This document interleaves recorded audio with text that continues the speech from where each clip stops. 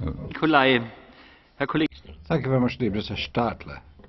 Herr Präsident, President, I also voted against this report, like the Kellum and Tarrant reports, for the same reasons, for the same reasons that I voted against the Danjean report, for the explanations I set out. I would just like to add on this report that there are two very unclear points. Uh, what are the commitments with all possible resources to provide solidarity? This goes beyond NATO solidarity.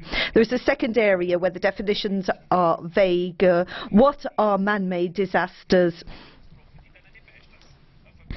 crises with uh, man-made causes should trigger the solidarity clause.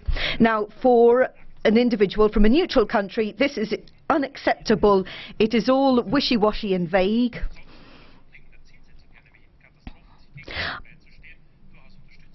I could support the idea of solidarity in general, but I really could not back this report. Dank, vielen Dank, Herr Kollege Stadler. Es folgt Thank you, Mr. Stadler.